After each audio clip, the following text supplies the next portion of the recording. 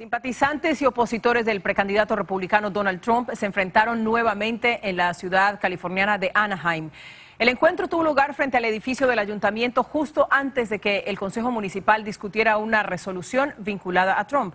Jaime García con el reporte. Con gritos y empujones se confrontaron violentamente grupos simpatizantes de Donald Trump y activistas hispanos opositores del precandidato republicano quienes frente a policías equipados con cascos antimotines se lanzaron acusaciones mutuas e incluso como muestra este video de celular, accionaron lo que parece ser una pistola para descargas eléctricas.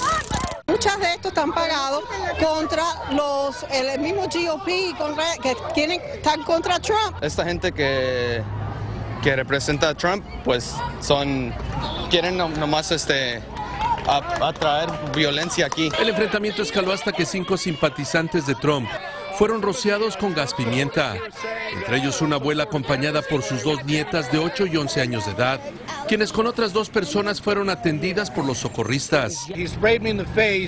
Visiblemente afectado por el gas pimienta, este manifestante señaló que presentará una denuncia contra el agresor.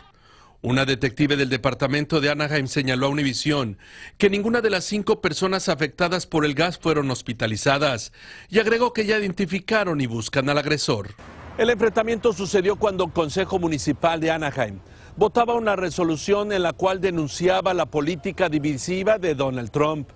Sin embargo, a final de cuentas en la votación se decidió no tomar ningún partido. La autora de la resolución dijo que más del 50% de los habitantes de Anaheim son latinos donde también viven refugiados asiáticos y musulmanes, lastimados por la retórica de Trump, que sacó a flote la división racial en el sur de California. Para ellos todos los mexicanos, centroamericanos, sudamericanos somos ilegales. Pandilleros, que eso se ven que son nacidos aquí, pero de de padres de otros países. En Anaheim, California, Jaime García, Univisión.